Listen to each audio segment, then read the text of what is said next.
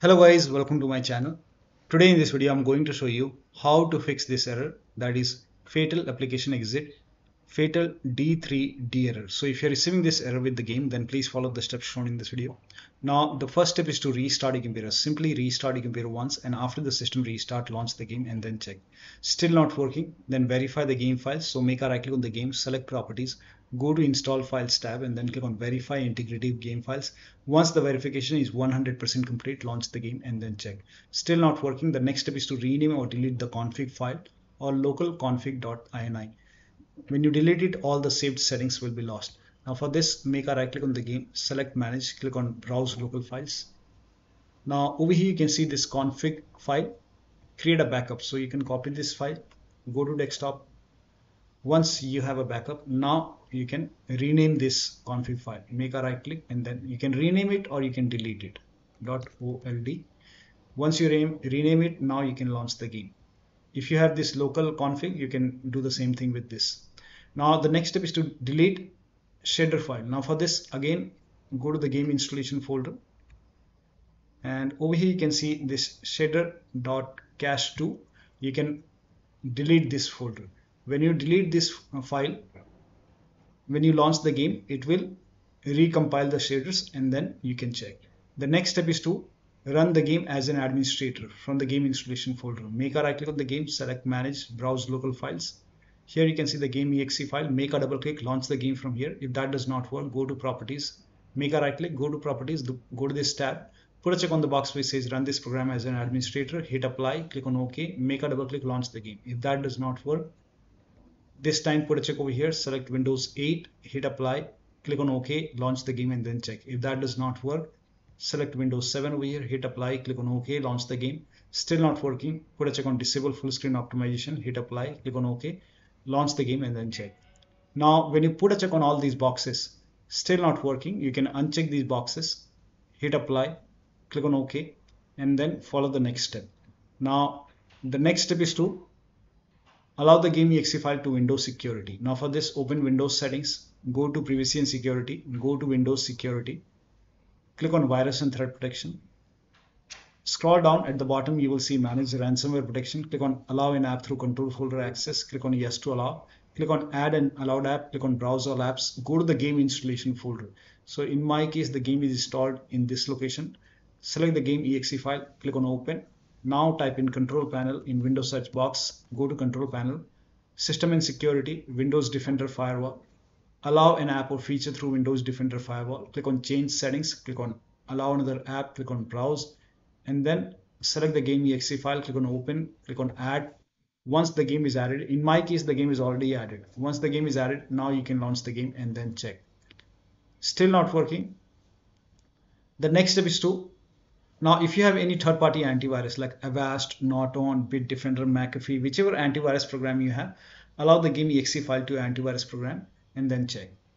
You can skip this step if you're able to launch the game, if you're not able to launch the game. But if you're able to launch the game, you can try this step, turn off vsync, try both turn on and turn off and check which one is working fine for you. Try the same resolution in Windows settings and select the same resolution in game lower down graphics settings. So if you're able to launch the game, launch the game first. Now, once you launch the game, uh, you can go to press the escape key and then go to options and then over here, go to graphics over here and then quality. First of all, uh, you can go to quality graphics option. Now over here, uh, first of all, go to basic graphics settings. Now once you go to uh, basic graphics settings on the right hand side you will see VSync. Now if this is on you can turn this off and then apply the settings. If it is already off you can turn it on and then check. Also you can switch to window mode if this is set to full screen uh, uh, borderless like borderless window mode you can try window mode over here and then you can go to resolution option. Now if this is set to 4k uh, you can try 1920 into 1080p you can even lower down more. And then go to detail graphics settings. Now over here, if everything is set to ultra high, you can set it to normal or maybe high.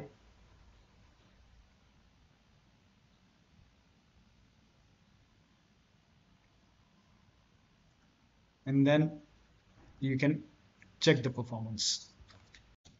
Now the next step is to perform a clean installation of your graphics driver. So if you have NVIDIA card, go to NVIDIA website. If you have AMD card, go to AMD website. I'm showing for NVIDIA. Now over here, select your graphic card and select your operating system and then click on find. Now on this page, the latest one is will be on the top, the GeForce Game Ready driver. This is the latest one right now. Whichever is the latest, click on view and then download this file. And once the download is complete uh, you can run this exe file. Now once you run this exe file click on yes to allow and then click on ok and then you will see agree and continue option. So hit agree and continue and then select the custom option over here. Then click on next. Then put a check on the box which says perform a clean installation. And then click on next. And once the installation is complete restart your computer and after the system restart launch the game still not working the next step is to roll back graphics driver.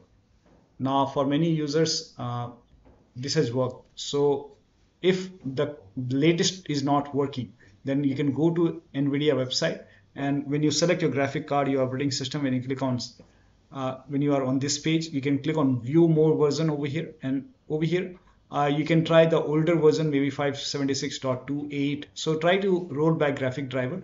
For many users, this has worked. Uh, driver version 566.36 so you can install this one uh, click on view download this file and when you run the exe file when you go for installation make sure that you put a check on the box which says perform a clean installation then click on next and then restart your computer and then launch the game still not working the next step is to run the game on dedicated graphic card. Now for this type in graphics settings in windows search box go to graphics settings and then click on add desktop app and then select the game exe file click on add. Once the game is added, find the game in the list. Once you find the game, click on the game and then over here you can see GPU preference, set it to high performance and then you can launch the game and then check.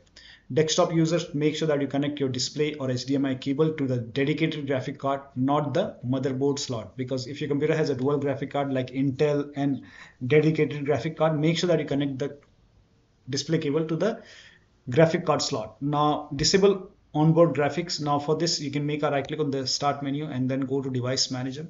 Expand display adapter over here. You will see your graphic card. So in my case here, you can see the inbuilt one Intel. This is the dedicated. So you can just make a right click on the onboard graphic and then you can click on disable device. And once this is disabled, now you can launch the game and then check. Later on, once you're done playing the game, you can always enable this Intel. Now the next step is to uncheck IPv6. Now for this, you can type in control panel in Windows search box and then go to control panel. Go to network and internet. Go to network and sharing center. Click on your internet and then go to properties. Over here, you can see, scroll down, you will see internet protocol version 6, IPv6. Make sure internet protocol version 4 is checked and you can uncheck this inter internet protocol version 6 uncheck this box and then click on ok now you can launch the game and then check this has worked for a few players so it might work for you still not working in that case you can click on the Wi-Fi icon once again now once you're done playing the game you can always enable this IPv6 so you can scroll down and once you're done playing the game, you can put a check over here and then click on OK. Now still not working. The next step is to turn on or turn off VPN. So you can use VPN for many users using VPN has worked. So you can get the free VPN and you can turn it on and then check. If the VPN, you're already using the VPN, then turn it off, close VPN and then check. Next step is to run these commands. These commands are provided in the video description. Type in CMD in Windows search box, make a right click on command prompt tab click on run as administrator make sure that you open this as an administrator click on yes to allow now copy all these command one by one and paste it over here hit the enter key copy the second command. Paste it hit the enter key. Now run the third command. Paste it hit the enter key. Once this is done you can close this. Now you have to relaunch the game and then check. Still not working. Try dx11 or dx12 in the launch option. So make a right click on the game select properties in the launch option type in dash dx11 close this launch the game and then check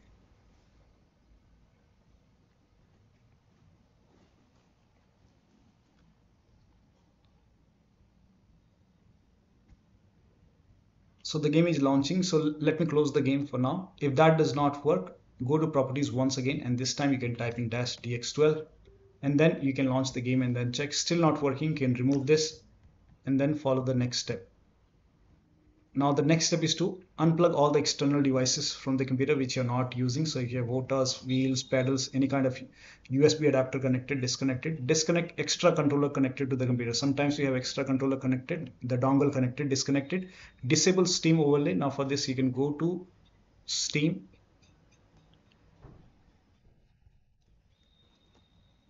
Go to steam and then make a right click on the game.